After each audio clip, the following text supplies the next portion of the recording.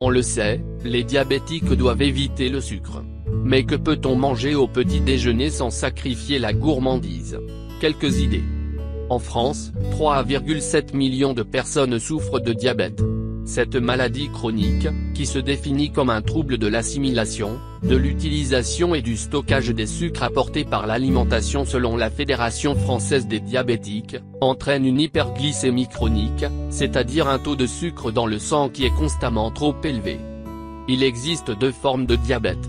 Le diabète de type 1 est une maladie auto-immune et apparaît généralement durant l'enfance, le diabète de type 2, qui représente 90% des cas, survient plutôt autour de 40 ans.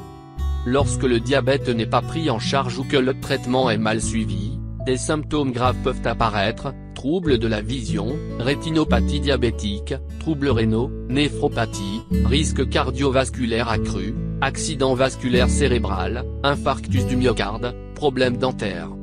Je suis diabétique, qu'ai-je le droit de manger au petit déjeuner? On le sait, une fois la maladie diagnostiquée, il est important de limiter drastiquement notre consommation de sucre quotidienne. Ainsi, les aliments sucrés ne doivent pas représenter plus de 10% de l'apport énergétique journalier, soit 50 g de sucre maximum par jour. C'est une recommandation de l'Organisation mondiale de la santé, OMS, qui devrait être suivie par tous, affirme Mélanie Mercier, diététicienne nutritionniste.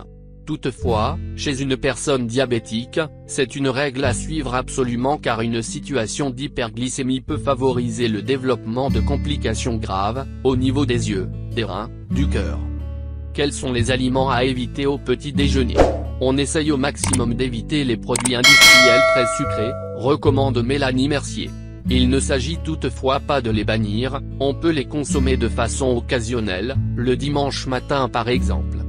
La pâte à tartiner industrielle, on peut préparer soi-même une pâte à tartiner pauvre en sucre.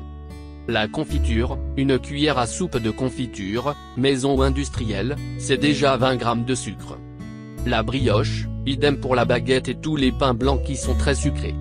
Les céréales vendues dans le commerce, mieux vaut privilégier les oléagineux ou les flocons d'avoine. Le jus de fruits, même fait maison ou 100% pur jus, il fait monter la glycémie. 5 idées de petit déjeuner sain pour les diabétiques. Quel est le menu?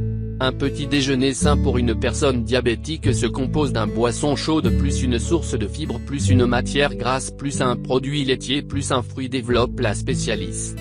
Quelques exemples.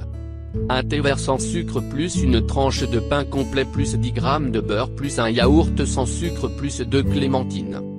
Un café sans sucre plus un bol de fromage blanc plus une belle poignée de flocons d'avoine plus quelques noisettes plus une pomme. Un thé noir avec du lait plus une tranche de pain aux céréales plus un C. AC. D'huile d'olive plus un fromage blanc à la compote sans sucre. Un bol de lait chaud avec du cacao sans sucre plus un bar de céréales maison plus quelques dattes séchées. Un café au lait sans sucre plus deux biscottes plus un C. AS. Deux purées d'amandes plus un morceau de fromage plus une grappe de raisin. Le conseil de la diététicienne, pensez aussi au petit déjeuner continental, un café plus une tranche de saumon fumé ou de jambon plus une tranche de pain complet plus un œuf à la coque, c'est également un petit déjeuner sain, bien qu'inhabituel. Merci à Mélanie Mercier, diététicienne nutritionniste pour la Fédération française des diabétiques, FFD.